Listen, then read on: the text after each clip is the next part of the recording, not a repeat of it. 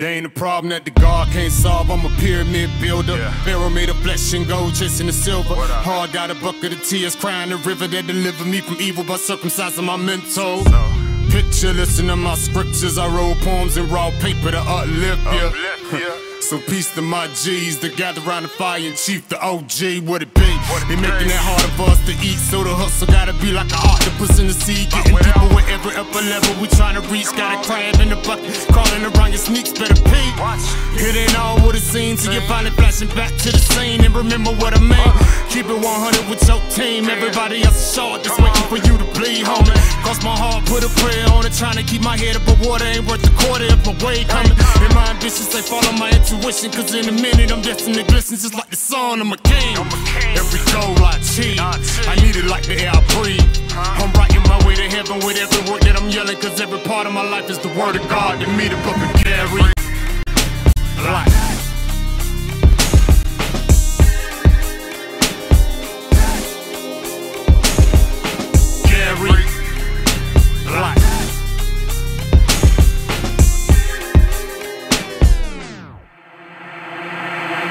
I, ain't never ever been what they wanted me to be. Confined to the ghetto, a spare without wings. Even when the pressure's excruciating enough to break me down to a T, I fought my way to my feet then. Second wind, the pain don't make me weak. Just a reminder that goes within reach. I know they tell you that all I do is teach, but what the fuck you expect when I'm practicing what I preach? With everything on my plate, bills I gotta play, crosses I gotta bear, just that I gotta play.